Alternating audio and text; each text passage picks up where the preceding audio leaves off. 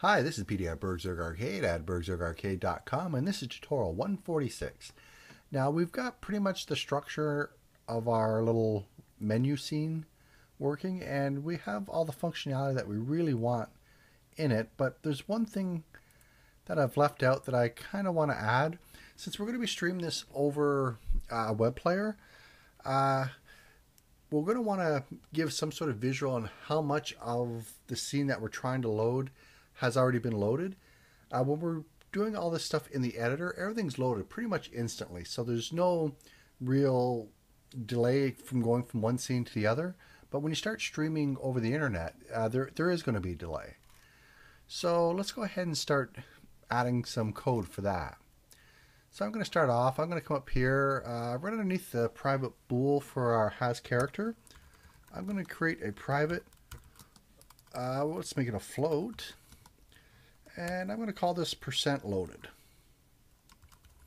And this will just tell me uh, how much of the level has actually been loaded so far. And I'm going to come down to my update function.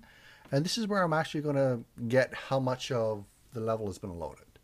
So right under our little if block here in our update, and what we're going to want to add is an else block and there's just one line of code. We're going to say that the percent loaded application dot uh, my IntelliSense, come on, get stream progress for level and the level we're trying to load.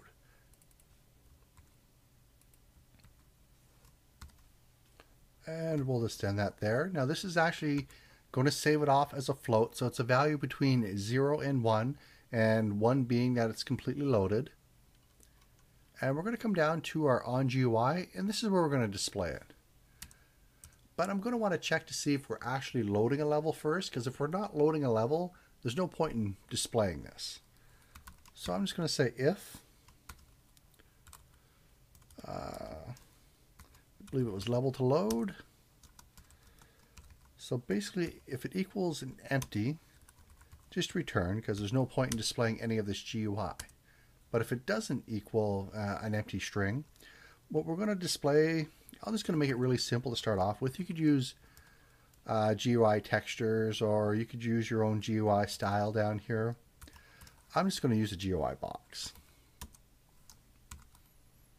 And of course, we've done a lot of styles already, so you should know how to do this. Uh, I'm just going to start mine off at zero, which is the uh, right at the very left of the screen. And I'm going to have mine be about oh, 25, well, let's make it 15 pixels high. And I want it to be about 5 pixels off the bottom. So we'll say uh, screen height minus 20 pixels. And I want it to go all the way to uh, the right side of the screen, but I'm going to want this to be sliding from left to right. And the way we can do that is just to say screen dot width multiplied by the percent of the level that we've already have loaded. So it'll give the, well, it'll give the image that, you know, as it loads, it, the bar moves to the right. And of course, I want it to be 15 pixels high.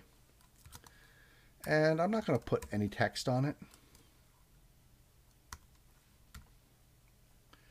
And right above that, I'm actually going to display uh, the percentage that we have loaded as an actual number so they can actually see it as well. And I'm just going to display this as a label.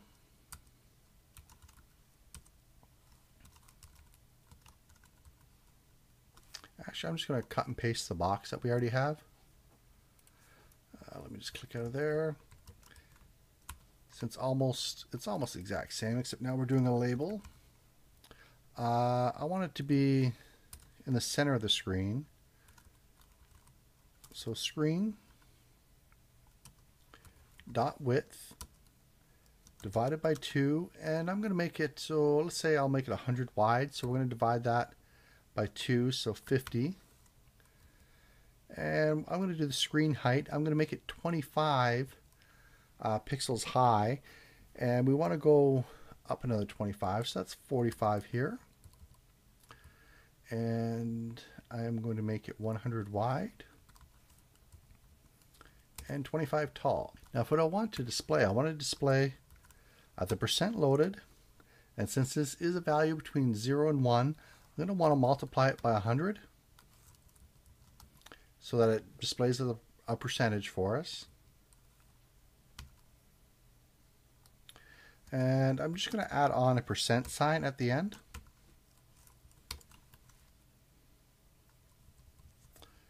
and that should be good. So let's go ahead and just take a look at it in our player here. Uh, we really won't be able to see it move from left to right because as I said before it loads up pretty much instantly in the editor but we'll hit load and it stops at zero. And I've got out of memory error. So let's try that again. So I'm going to hit clear and we'll just hit load and it stops.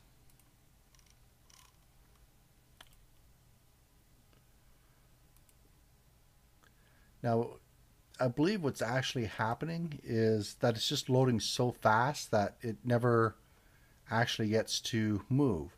Now, the way we could actually test this is come up to build settings and I'm actually going to make a stream build. So I'm just going to hit build. It's going to ask me where I want to save it. So I'll just save it here. This is my folder that I've been saving them to. And it's going to go ahead and compile my scripts and make a web version for me. Uh, I'll just pause the video until it's done. And we'll start up after that. So here we are, we have the web version built and you see I have my HTML file and my Unity 3D file and I called my my build web. That's why it says web.html and web.unity3d. Feel free to call it whatever you want. I'm going to go ahead and load up the HTML.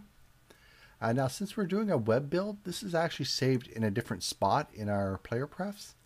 So I'm going to open that up. Uh, let's go to uh, libraries, preferences, and if we scroll all the way down to the bottom, it's no longer using this plist version because that's for the standalone and the editor.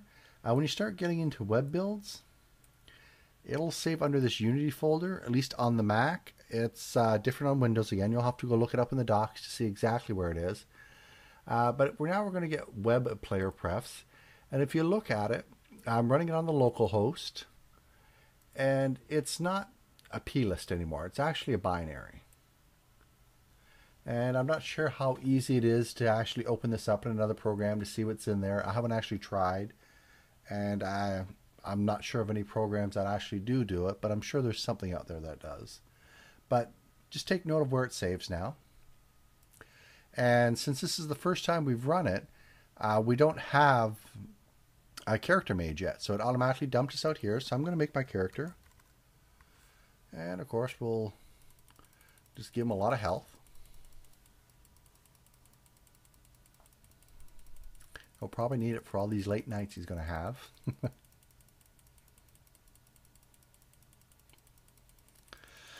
and we'll just keep clicking and clicking.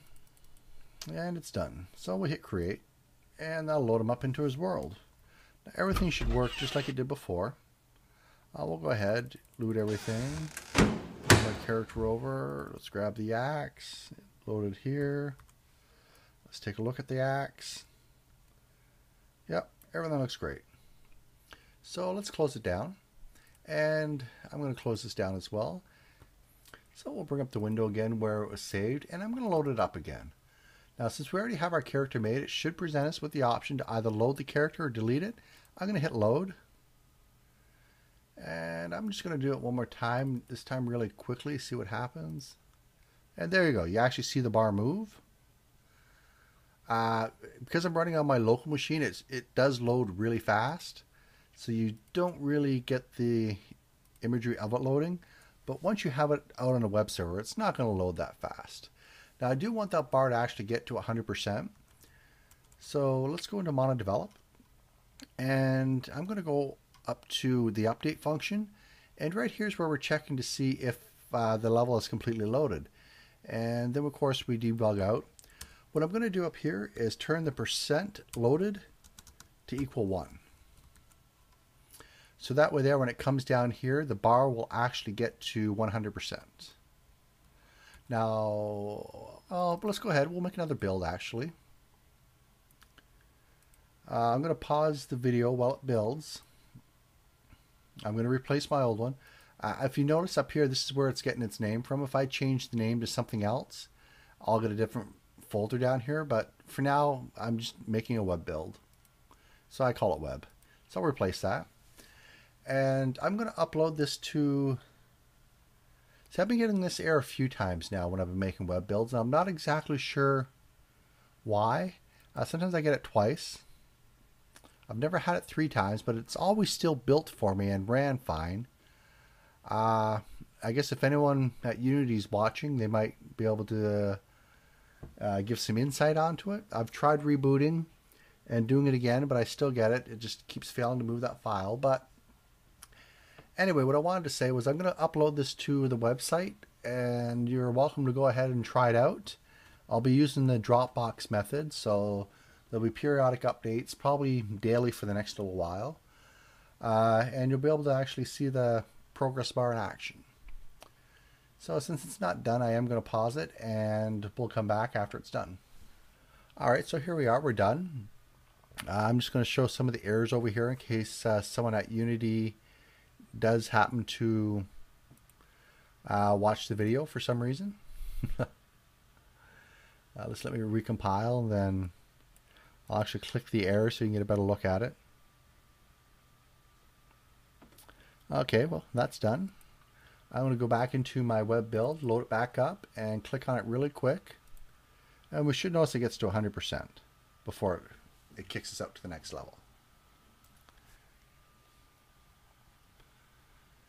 So I'm just going to stop that. Uh, that's pretty much all I wanted to do for this uh, video. I hope you enjoyed it, and I'll see you in the next one. Uh, don't forget to drop by the website and check out the live demo. I'll see you later. Bye bye. Actually, there's one more thing I wanted to add to this script before we actually ended. Uh, you'll notice that when we click the button to load one of the levels, uh, the progress bar progresses along the bottom. And since I am running on a, a local machine, it runs pretty quick. But when you're streaming off the internet, it's going to stream a lot slower depending on you know bandwidth issues and whatnot. And I once they click one of the buttons, I actually want to get rid of these buttons because I don't want them to click one and then uh, click another one after to switch what level is supposed to be getting loaded. So I'm just going to set another boolean value up here. And I'm just going to put it down here at the bottom. And it will be private because it's not needed anywhere else. And I'm just going to call this uh, display options. This was something I noticed uh, while I was editing the video. And I'm just going to cut and paste this in. So I'm going to come back down to my GUI. And the first thing I'm going to check is to see what the value of this is. So if display options equals true, I'm just going to make sure I made it true by default. I did. So if it equals true, then display these buttons.